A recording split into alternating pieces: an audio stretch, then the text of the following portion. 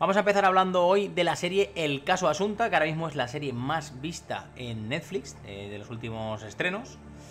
Y para el que no conozca nada de esta historia, pues tengo que decir que esto es un caso real, es una historia real. Os voy a dejar por aquí el tráiler. Es un caso real que pasó en España hace unos 10 años, en el que se les acusó a dos padres de asesinar a su hija adoptiva. Así que os voy a poner por aquí el tráiler y lo vamos a ir comentando. Yo soy Freakmaster.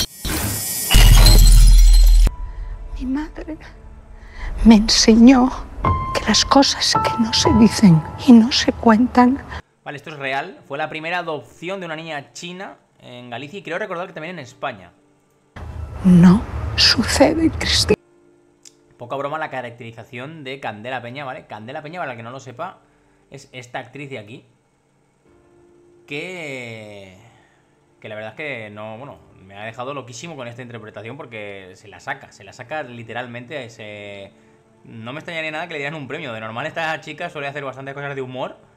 Pero. Pero con esta serie y con esta interpretación se la, se la ha sacado bastante. No sucede. La hermana de Paco León, María León. Que me sabe mal decirlo de la hermana de Paco León, como si ella no fuera ya de por sí misma buena actriz.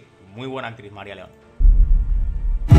Seguramente en unas horas la tendrán de vuelta en casa. Que no, es que mi hija Algo que me me gusta mucho de la serie, ¿vale? Yo la voy a ir parando sobre todo por el tema del copyright, el tráiler. Algo que me gusta bastante de la serie es eh, que los que no sepáis la historia, los que seáis de Latinoamérica quizás, o bueno, los que seáis de España pero seáis mucho más jóvenes que, y no os hayáis enterado porque eras muy pequeños cuando pasó esto, es que no te lo va a destripar desde el principio. O sea, te va a dejar que tú te vayas haciendo tu, tu paranoia mental y que vayas teniendo tu propia, tu propia idea. No es así. Tienen que encontrarla. Es increíble, qué bien lo hace, es increíble. Dice que vive cerca. Vamos. ¿A, a mi casa para qué? Oiga, oiga, ¿por qué no se ponen a buscarla ya?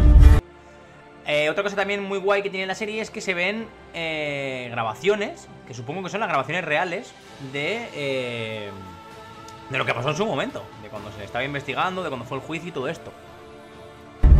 ¿Me puede explicar qué es eso de que no quiero estar... Javier Gutiérrez, muy muy buen actor. Javier Gutiérrez me encanta, de los, para mí de los mejores actores españoles dentro de lo que es el cine y las series españolas, ¿vale? Quitando, que, quitando quizás a Javier Bardem y, y, Antonio Banderas, pues no sé, me gusta mucho este tío. Y por si no lo sabíais, una anécdota, este tío iba a ser el profesor de la Casa de Papel. Pero al final no lo hizo porque cogió la película de Campeones. Que muchos diréis, ah, vaya cagada con el éxito que fue la Casa de Papel. Bueno, él, ya lo explicó en una entrevista, él tiene un hijo con discapacidad y era más el tema personal de y la ilusión que le hacía desde Campeones. Así que si el tío está contento, pues todo. Un abogado. ¿Un abogado para qué? Si yo soy abogada. Lo primero, peinar toda esta zona. Parkings, increíble. O sea, otra cosa que también me, me llama mucho la atención es cómo eh, el momento, o sea, el momento en el que pasó todo esto, lo bien que lo llevaron los policías y lo, lo rápido que actuaron, ¿eh? Que muchas veces se dice, Buah, es que los policías son, yo qué sé, son unos inútiles, que siempre solo hacen que poner multas y historias, ¿no? Pero, pero la verdad es que en estos temas de investigación, no en todos, pero por lo menos en este, fueron bastante, bastante avispados, ¿eh? merecidos bancos, cualquier cámara puede estar apuntada a la caja, ¿de acuerdo? Señor Oporto, ¿nos podría decir qué es todo esto? Que cuando lo veáis. Creo que son seis capítulos. Seis capítulos en una tarde. En dos tardes os la serie. Y la verdad es que vale la pena, ¿eh? Es que no, es que no sé Le qué. recuerdo que está en su derecho de no contestar. Si no ha hecho nada. Ah, es que todo esto es real, ¿eh? Bueno, esto es real, no. Esto, esto es la escenificación, ¿no? Los, los actores y todo esto. Pero todo esto pasó. O sea, se lió una en España que no fue ni normal, ¿eh? ¡Están gritando asesinos! ¿De qué me está acusando Lo realmente? estoy acusando de sedar a su hija adoptiva. ¿Tú estás seguro que lo que se ve al lado es la niña? Es asunto. Buah, increíble. Tenía veintitantas pastillas La niña dentro. estaba perfectamente. Esa gente ya los ha juzgado y sentenciado. ¿eh? Estoy segura de que eran ellos. Lo sabía.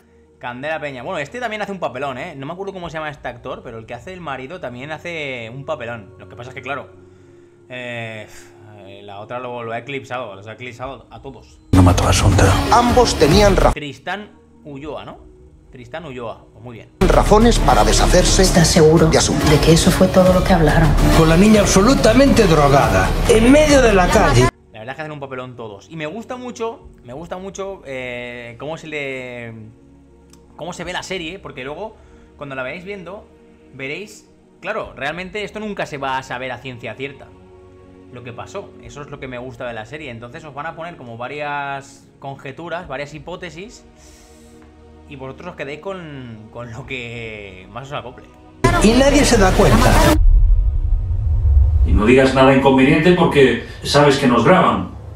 Y esto, eh, esto mola mucho porque esto también pasó. En- o sea, a ver, la historia, lógicamente, eh, al ser una historia real, pues tendrá varias cositas que habrán dramatizado, que habrán cambiado y que no serán iguales. Pero esto, por ejemplo, fue así. Esto fue tal cual. Les metieron cámaras, o sea, les metieron cámaras, les metieron micrófonos en, en las celdas y los pusieron juntos a ver si les escapaba algo. Y esta conversación fue real. Bueno, ¿y qué voy a decir? Inconveniente, Alfonso. No, si yo lo sé, nada. No te dio tiempo a eso, ¿verdad?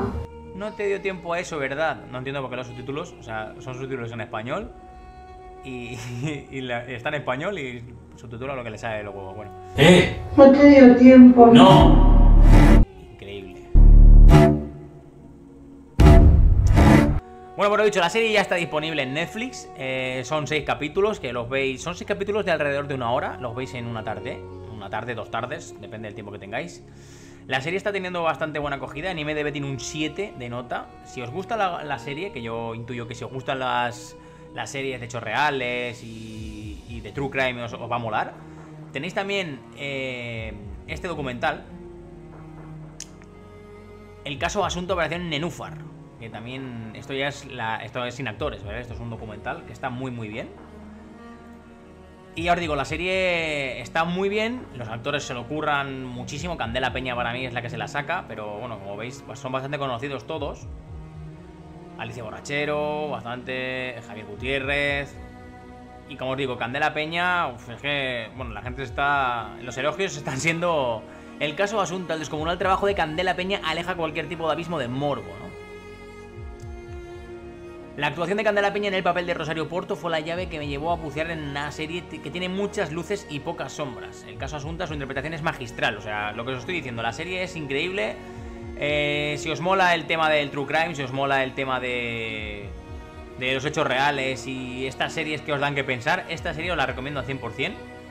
Y ya os digo, no tiene más. Eh, son un matrimonio de que parece ser que estaban bien acomodados económicamente, o eso nos querían hacer creer, porque realmente tampoco lo sabemos a ciencia cierta, pero al parecer los que tenían pasta eran los padres de ella. Eh, adoptan una niña china.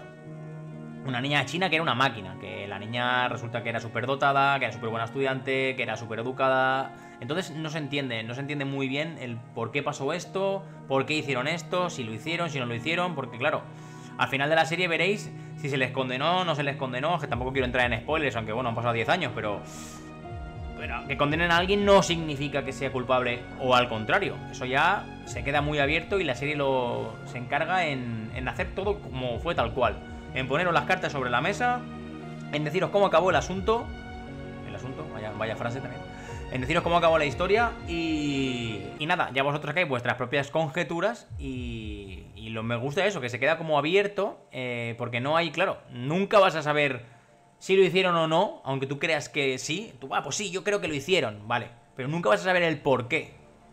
O, o si lo hicieron así, o si lo hicieron de otra manera. Y eso es lo que la serie lo hace muy, muy, muy, muy bien. Me adoran como cabrones.